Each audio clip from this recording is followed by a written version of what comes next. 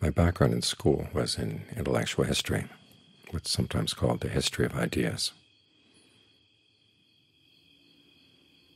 And one of the basic premises is that if you want to understand a person's thought, you have to know when he or she lived, what the other people at the time were thinking.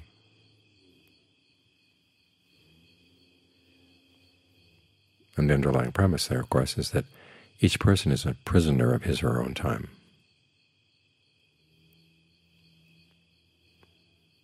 It was a rare individual who could think outside the box. And usually the box would change just a little bit, and then the new box would be, become the prisoner for the people in the next generation.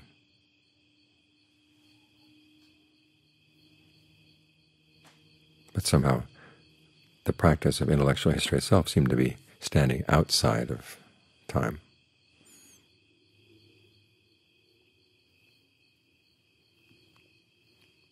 In other words, it figured out all the other times, but somehow it wasn't subject to its own rules. When I met Ajaan Fuang, that got all overturned. I began to realize that I was a prisoner of my own time. It took a while, though. When I first went to Thailand and learned about Buddhism, people were saying the Buddha taught the truth about this, the truth about that. And my background kept telling me, well, he saw the truth through the lens of his own time. And he might have some useful insights for us now. But we'd have to bring him up to date.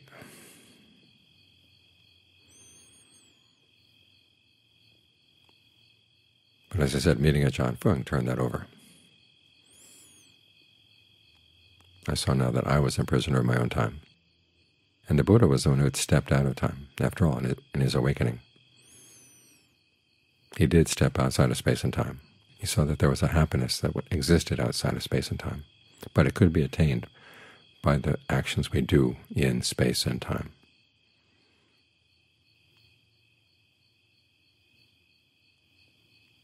That the event of his awakening was the primary event in world history and the insights he gave are always valid. As he said at one point, what he gained in his awakening, the knowledge he gained in his awakening, was like the leaves in a forest. What he taught was a handful of leaves. And he taught that handful of leaves because it would be of use to people to put an end to their own suffering. There's one passage where he talks about the many powers he gained through his awakening.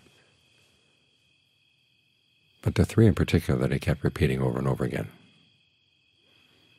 One was knowledge of previous lifetimes, the other was knowledge of how beings are reborn after their death in line with their karma. And the third was the knowledge of how to put an end to the effluents, in other words, these currents of defilement that come flowing out of the mind that lead to more becoming and more suffering. Those are the three that he found most useful to tell. And then, of course, after that he said he did get an awakening to nirvana, which is something deathless.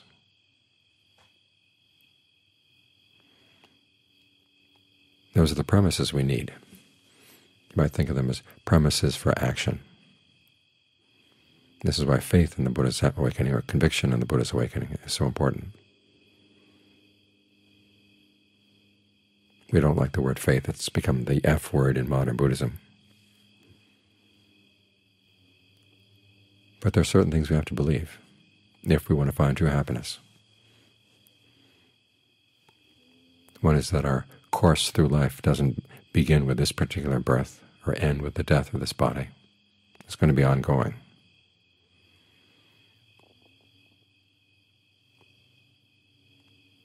And from the second principle, second knowledge. We have the principle that how we are reborn is going to be determined by our actions, which are intentions, which in turn are determined by our views. And our views, of course, are going to be determined by the extent to which we have respect for the noble ones, that we give them trust.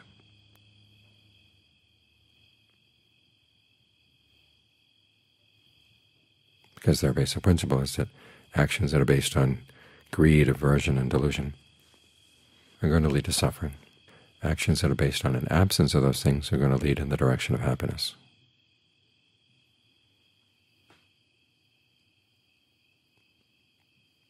So we have to look at the intentions in our minds and the motivations for why we're acting. That's where we'll find what makes a difference between a course of action that leads to suffering and a course of action that leads away from suffering.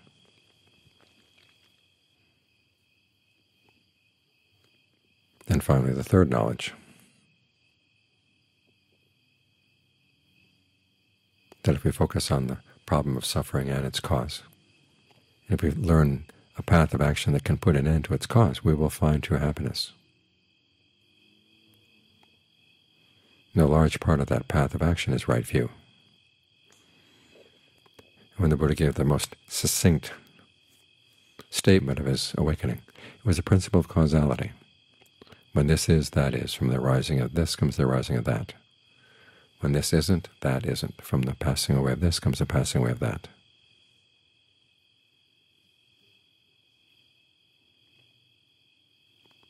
two principles of causation, one in which causes and their effects arise at the same time and disappear at the same time, another in which you have causality over time.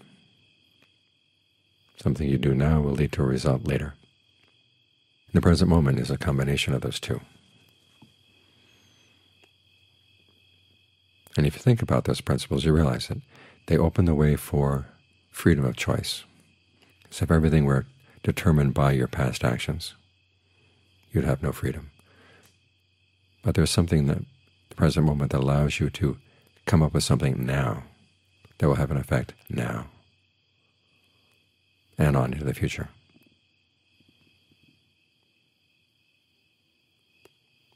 And because there's a pattern to what is skillful and unskillful, but there's room to adjust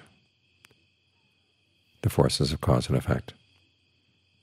That provides the possibility for learning skills. After all, if there were no pattern, then what you learn today would not help you at all tomorrow. If the pattern were ironclad, in other words, totally predetermined, you'd have no choice. But here there's a pattern with a choice, which opens the possibility for developing the path to the end of suffering as a skill. It's something we can choose to do. So all these are basic premises that we need for having trust in the fact that our actions will make a difference and that we can learn skills that will give better and better results.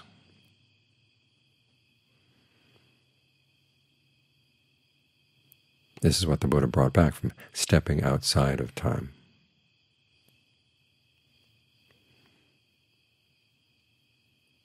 Of course the best results are precisely that, the ability to use human action to take you to a threshold beyond which you're outside of time. You can use actions within time to get out of time. And that's where the best happiness is, because any happiness that's in time is going to disappear as time changes. Where is the body that you were 20 years ago, 10 years ago? Where are your feelings? You may have memories of the past, but they're very much subject to change and can often be unreliable. You look within time, there's very little solidity, very little opportunity to settle in and say, okay, this is a good, safe place. So if you're really serious about happiness, the only happiness that's really going to be satisfactory is going to be the happiness that's outside of space and time.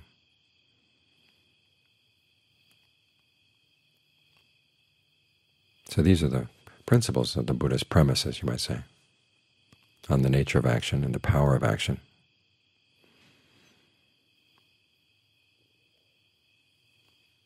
No, he never said he could prove them to you, aside from getting you to follow his teachings. In the very beginning, he said it's like a gamble, but it's a good bet.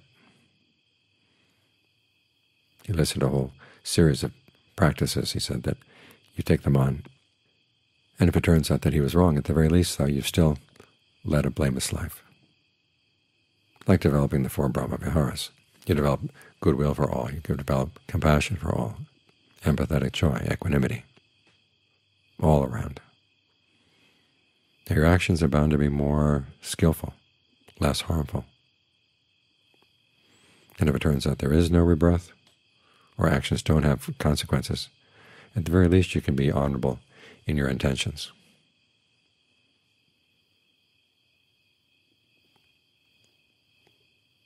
Same in believing the principle of the power of action, that you have choices. If you believe that you didn't have any choices, that would close off the doors to the possibility of any path of practice.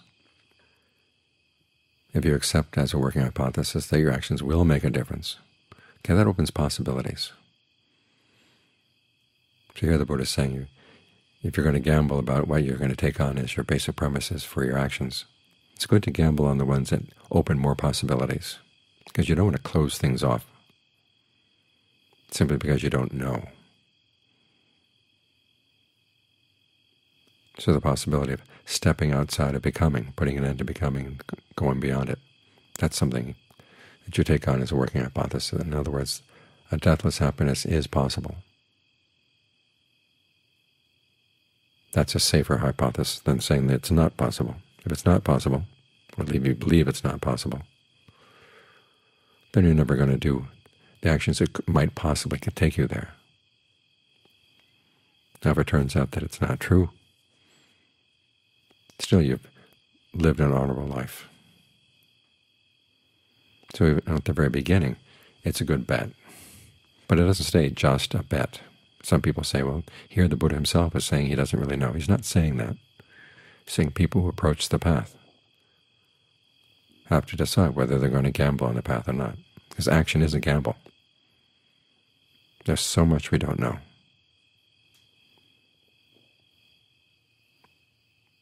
But here the Buddha is offering a possibility.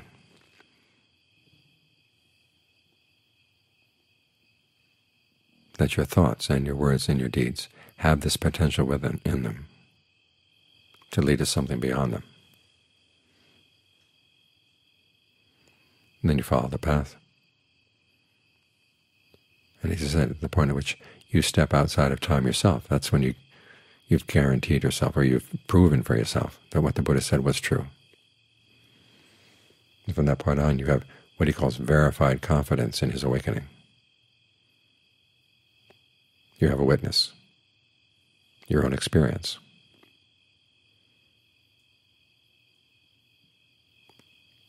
And you realize that what he said about suffering coming from within was true. The nature of the Dharma, whatever is subject to origination is all subject to cessation. Now notice he's not saying everything that arises is going to cease or pass away. Subject to origination means caused. And when the Buddha uses the word origination, it's almost always in the context of things that are caused from within the mind. What's radical about the experience is that you begin to see that even your experience of the six senses is originated. In other words, there are conditions that flow from within that determine how you're going to see and hear and smell and taste and touch and think about things. And when those internal causes are ended, your connection with the world of the senses ends as well. At least it stops for the time being. That's what opens the possibility for an experience of the deathless. And it's from that experience that even that thought, all that is subject to origination, would occur. Otherwise, you're not just making a vague generalization. You've seen something that is not subject to origination is also not subject to cessation and you realize that it's radically different from everything else you've ever experienced. And everything else you have experienced prior to that falls into whatever is subject origination. But your verified confidence in the Buddha. You realize that your experience of time didn't start with the date of your birth. You see that for a long time before then. You may not have specific memories of previous lifetimes. But you get a new perspective on time by stepping out of it.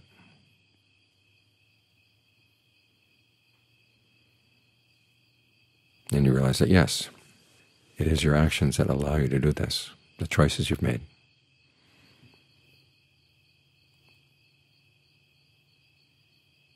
Which is why your virtues now become virtues pleasing to the noble ones. They're solid, they're sure, but at the same time you don't create a sense of pride around them. As the Buddha says, you don't make yourself out of the virtues. You use them as tools. And because there is an awareness that's there, even as the aggregates fall away, because the aggregates are, as the Buddha said, near and far, past, present, and future. In other words, they're in the coordinates of space and time. But there's still an awareness that remains even after those things fade away. You realize there's no reason why you'd ever want to identify with them or build an identity around them ever again. So it's in this way that you're freed in certain ways, even with just the first taste of the deathless.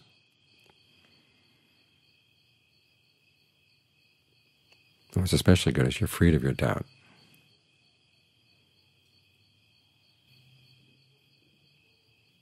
You've seen for yourself that what the Buddha said is true, and that his awakening really was the main event in world history.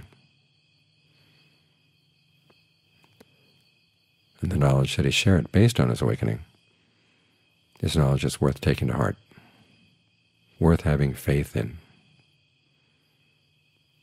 so that you can act in ways that will test it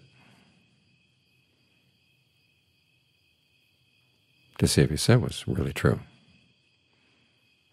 If you're still at the very beginning where you don't know, at the very least you look at the path and you can see that it's a path that's honorable.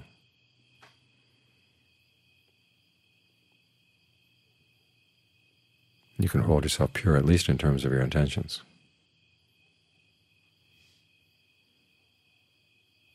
And that's a lot to begin with right there. This is why the Buddha said the path is admirable in the beginning, admirable in the middle, admirable in the end.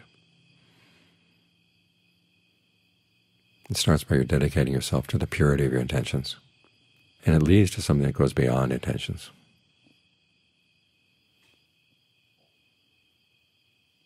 something that's really worth experiencing for yourself.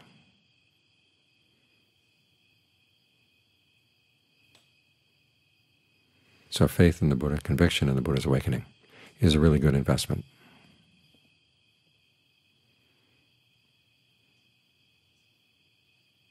It pays off in more ways than you can imagine.